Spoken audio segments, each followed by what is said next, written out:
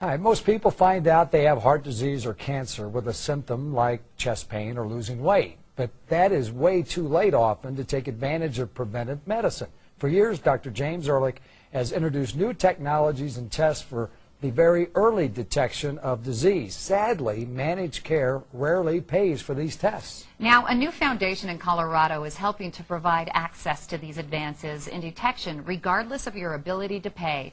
It's called the IDA Medical Foundation, Identify Disease Advance. Many of our viewers will remember Dr. James Ehrlich previously on the show from Colorado Heart and Body Imaging, and we're so pleased to have Dr. Ehrlich back to discuss this very dynamic organization that he has founded in his new practice. How are you? Welcome back, Good buddy. to be back. Thank Good to you. see you. Absolutely love having you on the show. You're a wonderful you. doctor. You've helped my family several times, Oh, thank so it's a pleasure seeing you again.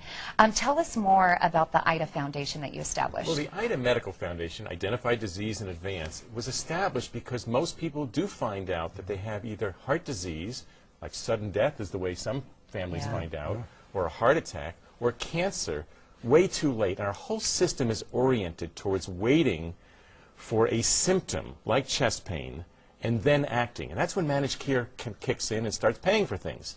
But for years, our centers in the various cities that I've operated have been able to find disease years or decades before these things when preventive medicine really works. And so we found hundreds of people, and on the screen you see an example of an IDA. An IDA is somebody uh, whose first symptom of heart, of, in this case, lung cancer, was late. This is a friend of mine, Anna Avila, a, a Denver resident who resides in New York and who's coming back uh, to Denver uh, to get her treatments uh, for, for lung cancer. But she's a wonderful person and, um, and finds out much too late that she has a problem. And, and so, so um, you know, that's what the foundation is about. And here you're seeing a video that was created uh, on YouTube, actually, that shows all the different technologies and what we can do um, to prevent disease.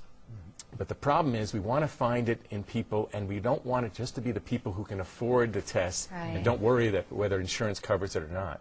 So we're trying to extend the benefit of all these wonderful tests that can save your life, regardless of your ability to pay.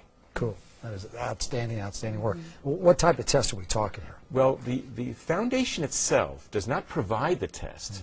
What it does is it helps people afford the test. Okay. So the foundation in multiple cities will uh, develop programs. Now, most of the programs will be named after an individual whose loved one or family wants to honor that person. So everybody coming in for a cholesterol test will get a bio of that person uh, that was developed by that family.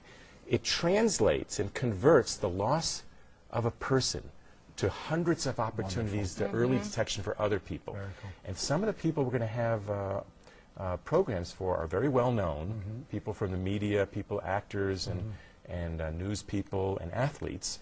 But most of the programs are going to be really championed by families Mm-hmm. who have a loved one, like Anna, Mm-hmm. and um, who want to take care of them. So I believe everybody has an IDA in their family. For me, it was my mother, Ida, Mm-hmm. and it was during her preparation for her eulogy that I thought of this foundation. Wow. Uh, and, and because she developed lung cancer, and it was a late symptom, it was uh, pneumonia, and then, you know, she lasted about a year. Mm-hmm. Yeah, we can yeah. find it in stage one. We've done it for hundreds of patients, finding it very early. You truly care about people. I mean, this is the true definition of paying it forward.